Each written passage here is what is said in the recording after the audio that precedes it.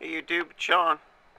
And um, here's an update on the Pro 2026 scanner. I want to let you guys know that I was uh, looking. Wow, that sucks. Sorry guys.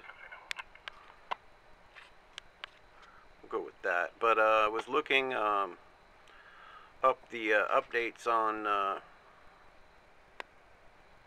the internet on this scanner and uh, it is not illegal to cut the L3.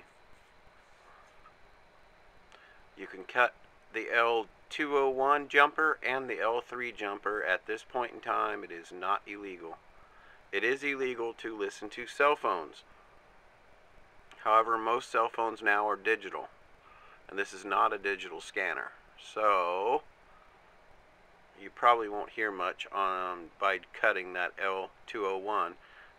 But on the other side of the fence, that does give you 800 megahertz capability with this scanner if you cut the L201.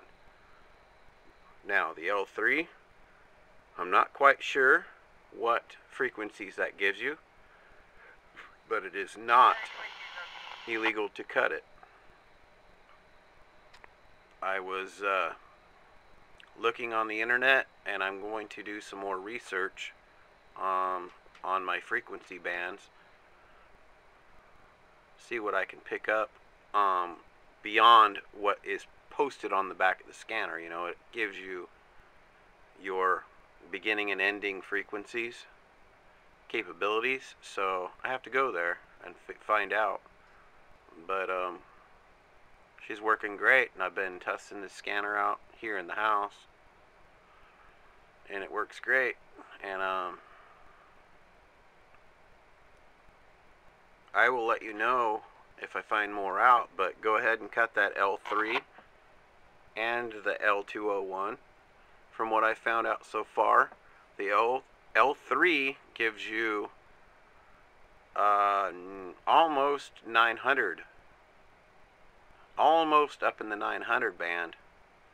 So, yeah, um, it's not illegal though.